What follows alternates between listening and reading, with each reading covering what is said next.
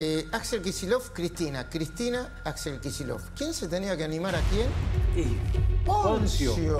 Poncio se la jugó. Acordate la frase, ¿no? Sí. Cómo veníamos. Hay ¿eh? demasiados Poncios, Pilatos Ahí está la frase, y mirá. demasiado Judas. Ahí está, los Poncio Qué Pilatos linda los Judas en el peronismo no van más, había dicho ella.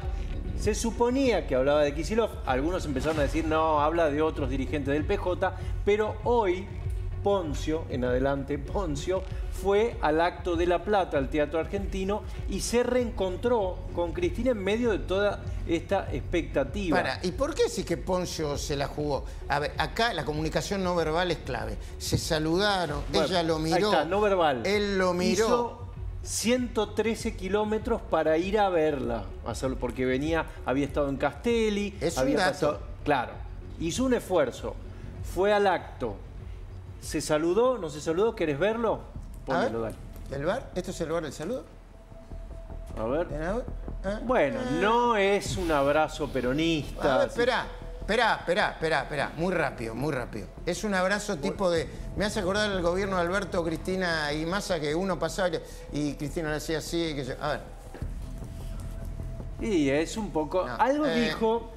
Algo te digo, yo, yo no soy experto en comunicación no verbal, pero vi varios bares como este ya. Hay que pasarlo en cámara lenta, Sí. por ahí con música de Whitney Houston para Sí. que sea un poquito más, Sí. más emotivo. La verdad, los encuentros anteriores eran más cálidos. Más cálidos, es cierto. Siempre está Estela de Carlotto tratando, viste que con Alberto Fernández y. Cristina en su momento Tratando también. de congeniar. Hacía ¿eh? lo mismo. Pero Bueno. cuando Cristina te ves así, no quiero hacer el...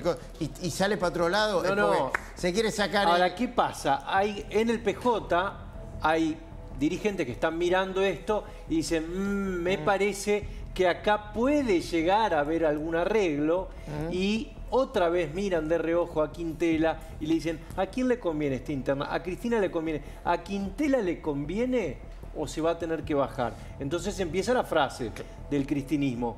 El, el gitano se baja, están el diciendo. gita- ¿Le dicen el gitano, El Quintela? gitano Bueno. le dicen a ¿Y Quintela. qué dijo Estela de Carlotto? Bueno, ¿qué dijo Estela de Carlotto? Porque los había invitado a los dos, dijo esto. Eh, hoy, Estela. Yo, mi deseo está cumplido. Mira, que esté él y Cristina para mí es el mejor regalo. Bueno, es un mejor regalo, veremos cómo sigue esto. Todo indica que por lo menos están apaciguando las críticas. Ahora, déjame que te diga algo. Atrasan 2.510 Ah, bueno, 10 millones de años. Hoy escuché a Galmarini padre, ¿eh? Eh, eh, Fernando Galmarini, es, ¿no? Sí, eh, Galmarini padre, diciendo, bueno, ya no hay más eh, eh, kirchnerismo o cristinismo, hay... me da vergüenza decirlo, que lo diga él, dale. el momento del kirchnerismo está finalizando y que hay que reemplazarlo por caras nuevas, por gente joven. Creo que es el momento de terminar con el ismo, ese que yo decía, del kirchnerismo y darle paso a algún otro, si es que va a ser el, el, el quintelismo, no sé cómo llamarlo. El quintelismo. Menos mal que no dijo clientelismo. No, no. El quintel. Bueno, viste, igual la lista, ¿cómo se llama la lista de Cristina? Eh, Unión por la- Ah, la lista. Ah, esta lista sí, de. ¿cómo se llama la de Cristina? Todo Unión por No me- La Plata. Feynman dice que llama Unión por La Plata. Cosa de Eduardo. Co- vos- No, no sé, quería chequear. ¿Te ¿eh? puedo confirmar eso? Sí. ¿Te acordás que el domingo mostramos el convenio que le daban a Estela de Carlotto? Sí.